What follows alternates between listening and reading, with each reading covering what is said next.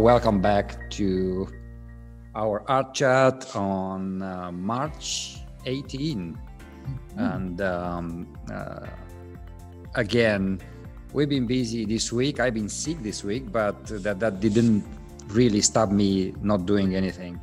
Um, First of all, I want to share with you my screen and show you the some pieces of art I put together. I worked uh, for quite a while now, and I just did um, the very first proof to see how they print and how they how they look like, and um, I was very very surprised how beautiful they actually are on print. It's better than we use what you see on screen and uh, I do have them in here in case you guys want to see them. Um, of course, they're gonna be great. They're gonna be uh, printed on uh, very large scales. I haven't decided exactly the the the size, but they will um, they'll be larger than this for sure. Let's see. Uh, good week last week. I actually sold uh, um, pieces at our, our open Saturday. We have an open Saturday every second Saturday. In this building, we're also open every third Saturday, but we're here all the time. But I, I made three sales, uh, and I sold Cloudburst, which was actually in the Wabi Sabi uh, exhibition. And then I sold two that I've had since 2018, just hanging on the wall. Uh, one is called Bundle, and the other is called Closet. Um, and uh, I was really pleased. A really good day to get all those things sold at once. That was that was magnificent. And uh, that was actually so, the, the very last day of the exhibition, wasn't it? And and, and you know, late in the day. so it was quite a quite a nice ending to a Saturday. Um, so hopefully we'll be able to uh, keep that momentum going after your big sale a couple of weeks ago, and then I had a nice Saturday last Saturday. Um, Let's see. You had also, were you going to oh. talk a little bit about the things you were going to frame? I noticed we missed this. Oh, oh yes, yes. Um, you know, um, two, three weeks ago, I had that uh, couple the big sale. buying my biggest pieces here in the from the inheritance series. So um, last week, I uh, at the end of last week, I went to the printing lab to arrange for two new um, big prints to replace those ones um, sold. And this would be the um, uh, edition two of five. And yeah, so there's only there's only five of them. Right, and hopefully somebody with a great eye will pick them up from the studio or. Um, and uh, actually, this one um, I have a small print of it, but I realized that it has so much details, uh, and I consider to reprint this one on a larger scale so that you. When can, they're larger, you, you almost you, feel like you, are in the room. Right, you can connect with it better. Marvelous. I noticed those. Uh, I want to make sure you caught those. And then the other project that I just am finishing up this week uh, we've had a 10 week project in my uh, residency program, the Proyectos de Residencia in, in Mexico City uh, that we're doing virtually because of COVID. Uh, so I had prepared three, uh, excuse me, four large pieces. These are four by six feet. Uh, and so they're, it's hard to get the scale of them here, but they're actually part of a larger collection called Dreamtime. And this is uh, kind of archetypal symbols that are common in religious beliefs. It's not about religion; it's about symbology and about and about uh, um, that kind of nonverbal vo- vocabulary. These are actually kind of representational, and I don't do that very often, uh, except for my little faces. But uh, I did mix some representational images here because I think it gives some it gives people something to grab onto when they're surrounded completely by abstracts. Uh, if you've got a complete show of just abstracts, you got to give the eye something to, to rest uh, and in a small space. uh, and also in, in, a, in a big room, if, if we were to secure one of the uh, viewing places for an exhibition here at Silver Street Gallery, the, the ceilings are what, 25, 30 feet high. And uh, you get a bunch of small paintings on the wall and they just disappear. So these were meant, these four were meant to be kind of anchor pieces to introduce people to the concept, to get them looking for symbols, and also to, to kind of make the whole show look a little better. Uh, so these are basically finished. I need to do a little cleaning up, but uh, it's been a 10 week program, and now we'll, we'll be judged, uh, juried from this to see who gets into the show in Mexico and on Artsy. And uh, if I'm selected, I'll do that. If not, then I'll just add these to the, the collection that I'm working on, uh, getting ready for my own exhibition, hopefully in the fall. Ooh, Ooh. That is exciting. Yeah, it's been fun. And, and to be able to work on a schedule like that, I've never done that before. That's so let's move uh, on. Uh, for this um, show, I um, prepared two images. One it's called Illumination, and it's part of the uh, Synapses series, and the other one it's more pop art, a completely different style, um, called um, Cinema Fine uh, from uh, the Americana series. I'm still working on Americana series because uh, I, am always fascinated about, these old American classic buildings, uh, cinemas, uh, old gas stations, uh, old cars. Uh, it's a very slow process because I, I can't get to all these things, you know, uh, fast. It's when I travel, when I go places, I, I discover something. So this is how it happens. But let me let me share the screen with you to to show you more about this and take you to this journey? I find it absolutely amazing that to us, these are just old buildings. You know, they're, they're lovely. But you show these to folks in Europe and other parts of the world, they think they're so exotic. Yeah, I mean, we'll talk We're about. so used to seeing them. We'll talk about this later, and um, and how this series should look like. But anyway, let, us talk about a little uh, of illumination and about the whole series of uh, uh, synapses. Mm-hmm. So um, to talk about this, I'm going to take you to show you uh, more in this series. I just you know, love. It's, it's, it's, it's an uh, abstract um, sort of photography. And what I wanted to do with this is um, to create a, a, a dreamy, um, a calm, relaxed uh, uh, magic in a way, sort of imagery. Mm-hmm. Um, I called uh, the series Synapses because I see it as a connection, a connection with a memory or memories of um, every individual. And, and uh, what I'm saying about this is being abstract, um, you can um, uh, connect with your own memory. You know what I mean? Um, remember something uh, uh, that is related with your own experience. Can I ask a quick question? Yes. So I, I just never worked that much in um, editions. Um, and so when you say edition of 15 mm-hmm. uh, or whatever, and it, it then lists um, different sizes, mm-hmm. um, you know, can the editions, is it 15 total and mm-hmm. can be any size? Mm-hmm. So there's not 15 of each? No.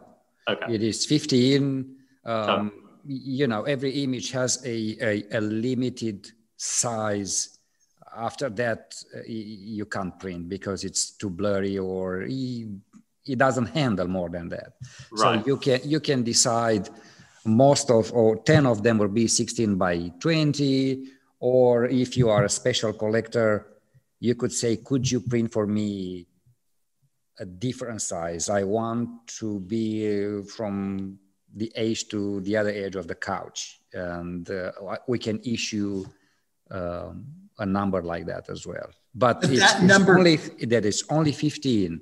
Mm-hmm. Yeah. Okay. Yeah. And I know some artists do different do that differently. We feel like for collectors, it, if you say there are 15 copies, there should be 15 copies. Okay. Uh, and it, it, it, makes it more collectible. yes, there are some artists that do issue 15 editions of 16 by 20 and 15 edition of but that makes it very it's too spread and there's too many copies of them anyway so uh, going back to um, illumination let me put it on the screen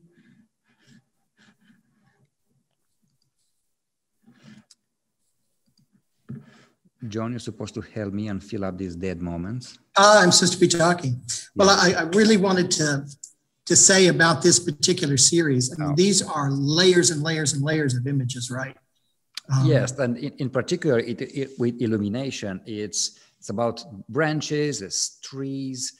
Um, there is a sunset, and the mm-hmm. way I see it is, you know, every there are certain moments in our life when you think um, you can't go further you something stops you on the way but yet there is this um, nebula um, that gets in your way but yet in this image there is the light you mm-hmm. can reach it you can find your own way through this uh, uh,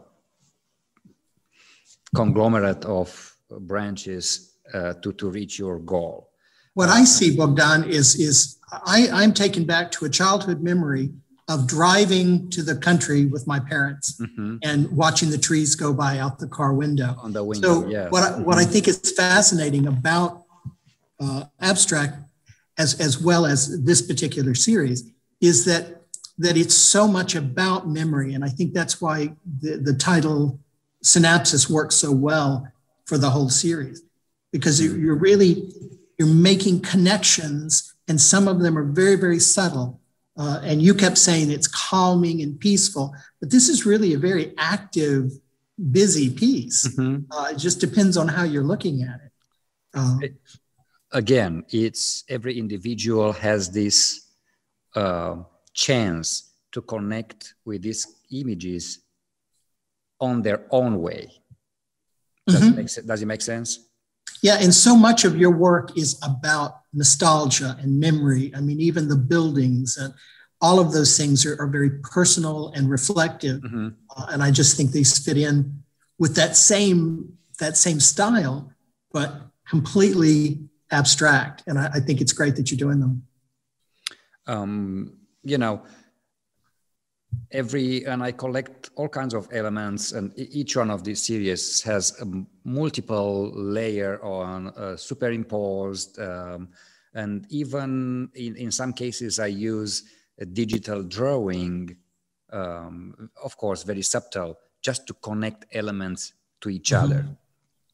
And um, illumination, it's yeah, uh, you know, it should give you um, um, a sense of calm, a sense of reflection. Uh, there is a little confusing if you if you if you look, um, but there's something magic in it, you know, mm-hmm. um, and and it's something um, a floating sort of um, feeling. What about your other piece? Um, you mean the the in the, in the, yeah, we're about 20 minutes in. So. Okay, I'm sorry. I'm, I'm getting too much. Uh, but what I want to finish with this one is, in particular, this one is printed on canvas. Yes. Um, it's uh, 26 by 26 inches. And um, uh, let me stop this. You're supposed to remind me to show it. I have it right here. And it's a very, very nice piece. Great size and um, it can be shipped anywhere around the country um, or the world. Why not? Anyway, moving forward, um, I have the second piece, which is called Cinema Fine. It's from uh, a series called Americana, as I mentioned at the beginning, um, that I work on since 2015 and I moved to America. Um, again, I find this um, uh, how could I say this architecture piece is very very um, attractive, and I, I took a, a, a, step forward and I recolored them so they are some sort of a pop art style. Mm-hmm. This particular image is 16 by 20. Um, and it's um, printed on uh, cotton rag paper, which is the fine art print uh, version of paper, and um, it's um, again easy to ship, easy to um, or, or, come here at the studio and pick it up. Um, yeah. uh, we are open every second Saturday and third Saturday. And those are other two images in the same series. And um, Cinema Heights, a very um, famous cinema here in Houston. And um, let's move on because uh, we're running out of time. I'm sorry, I, I, have been over my time.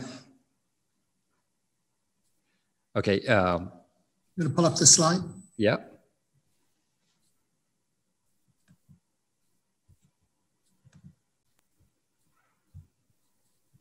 I want to share a couple of pieces with you. Uh, one is uh, called Gabriel. It's uh, nine, nine by 12. They are all on paper, and uh, there's 12 in the series. And I named them after the archangels uh, because there happen to be 12 archangels. Uh, this particular series has a lot of the elements that you'll see in a lot of my work those little circles, the kind of sacred circle, um, the, the layering of that background. And um, there, I have several in the series. They look really, really good framed. Uh, this particular series, though, I, I, did because I was stranded. Uh, and I was actually, this is when my father was dying. And I was kind of keeping watch. I had to be at his house. And I did all of these on their, on their dining room table uh, as I kind of made sure dad was doing okay. So uh, the series, I, I, really love the colors. I really like the, um, you know, the the calming effect that the colors have on me, or or or what what to me gives them so much depth. Uh, but they are still very abstract, very active, as is typical of my busy style. Um, but these are, like I say, there are 12 of them, and I just think they're they're really, really special to me. Uh, not just because of the memory of when I made them, but I just think they turned out really well. Uh, and they're, they're here in the studio available, uh, easy to ship. You want to move on to POW? Get in there. POW is the one I've got behind me. This is a, uh, a larger abstract. It's uh, 36 by 24 inches. It uh, is just kind of like an explosion of color, and, and it seemed very Easter-like to me. The, the pastels in it. Uh, I called it POW because it looked like you know I couldn't think of what to call it because I wanted to call it the Tribbles uh, from Star Trek fame, but uh, I called it POW because it was like Batman and it pow and whack and wham, uh, these explosions of color it, it looks almost celestial, like it's, it's some sort of galaxy forming. Uh, but uh, I really like the the painting. It's gotten quite a bit of attention here in the studio, but uh, it's still here, so it's still available. Uh, I really like working in abstract, and the the more I worked on this project lately, to uh, to look at the the representational uh, work I really like working in abstract. I don't, it, it's so much more freeing, I think, for me, uh, and hopefully for the people who watch, who, who look at it, uh, that uh, I think I'll, I'll save the, the faces. And in fact, I, I actually have a, a, new thing I've done, uh, another face, uh, but this one was, was for an FT, an NFT, which are these new digital files that people are selling with Bitcoin. Uh, I'm also a member of a group in Berlin uh, called Artists Stop Being Poor. uh, St- uh, Stefan Van Quick is the, the guy running that. And he's setting up the, his first NFT uh, collection uh, exhibition. And so the theme is pineapples. And here's Mr. Pineapple Head. Uh, and so I put that into the to the exhibition. We'll see what happens. Uh, I'm not sure. I'm completely sold on the idea, but the the thing that is absolutely beautiful about it is that it's all digital. It gives a digital artist a lot more breadth as far as a career. And with every sale that is made, the artist gets a little bit back no matter how many times it sells. Mm-hmm. So it's almost like a royalty. And that certainly doesn't happen when you sell a painting. Uh, if your painting goes up in value, the artist doesn't get any of that money later on. So it's just an interesting new fad. We'll see what it what happens with that. Uh, but I'm honored to be participating in that. Um, let's see, what else have we got, Bogdan? We didn't go anywhere this week. We didn't go anywhere. I, I just, you know, I just wanted to show this, uh, the print of the hot, the, the cinema. Oh, sure. Just because I never get the chance to show anything real, real time. Uh, and this is how it looks like. Yeah. Those, uh, that Americana stuff is really, really popular. Yes. Uh, and, and you can see why. I wish I can travel more these days to um, well, now now it's the, the weather's right. Uh, all the plants will be dead from the big freeze, but unless we go further, it works for me. Yeah, we'll do a road trip. Let's Photoshop. Let's remove all the plans. And you have a real knack at taking architectural pictures. I mean, you get the angles right, and you can actually. People have seen that that theater for many many years. This is is in Livingston, Texas, isn't it? the thing. Yeah, and um, the gas. And so people have seen that for years, but they may not have seen it like you depicted it, and that's that's your and, eye. And, and, again, everything I, I I do with this series, you know, I remove all kinds of um, noisy elements uh, that are not important, like uh, details of uh, windows. I, I rather cover those up in, in Photoshop with with a flat color, or I add some uh, a different sky, which is a flat, a little oversaturated color of a, of a sky, or I add some dots on the sky to make it completely uh, pop art like yeah. Mm-hmm. And, and so, those those kind of feed in well with your Miami Mon Amour uh, series yes, as well. They have that same uh, flavor. We'll present that probably next time and tell you the history, how, how it started and uh, where it's going to go. Probably we should um, talk about more about Miami Mon Amour and probably um, um, plan an exhibition about this, a mini exhibition. Yes, you, you should get those up. Absolutely.